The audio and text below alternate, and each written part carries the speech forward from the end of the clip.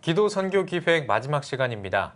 영국에서 시작한 기도 선교는 프랑스를 지나 유럽을 향한 기도 선교의 비전을 꿈꾸고 있는데요. 파리 미국인 교회에서 진행된 연합 집회에 현지 교회와 한국 교회, 한인 교회가 함께했습니다. 신현철 기자가 전해드립니다. 20곳의 프랑스 현지 교회에서 4일간 기도 사역을 진행한 기도 선교팀은 파리 시내의 미국인 교회에서 연합 집회를 열었습니다. 집회는 아주사 퍼시픽 대학교 존박 목사와 영국 찰리 클레블리 목사가 주강사로 나섰으며 프랑스 교회의 부흥을 위한 기도의 시간이 진행됐습니다.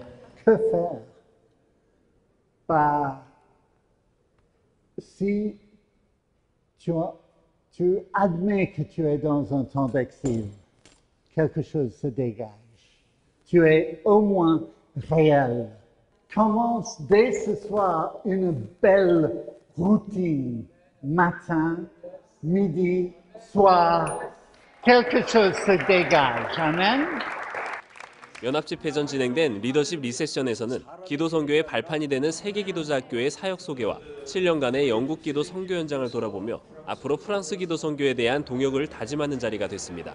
Vous êtes des gens formidables, le Saint-Esprit vous habite et vous nous avez communiqué le feu du Saint-Esprit. Je remercie vraiment euh, tous nos amis coréens et le pasteur euh, de l'église de Corée. Euh, C'est vraiment un, un grand plaisir, une grande joie en fait pour moi d'avoir été ici ce soir et de pouvoir vivre cette soirée qui, je le crois, est une soirée qui commence vraiment une période particulière de réveil pour la France.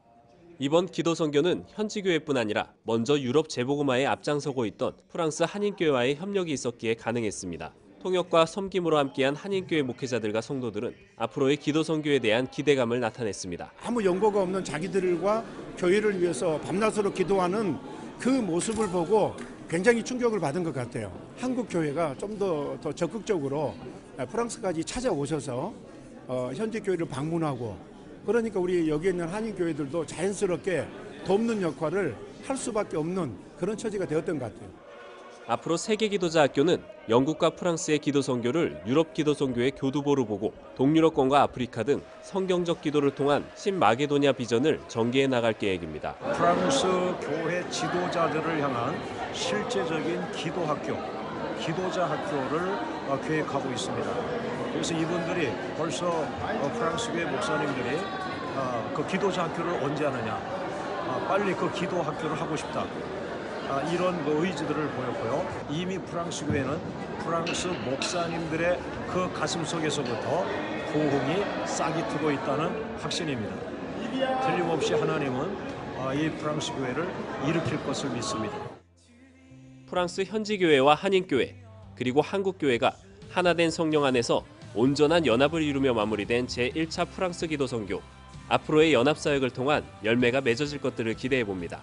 CTS 뉴스 신현철입니다.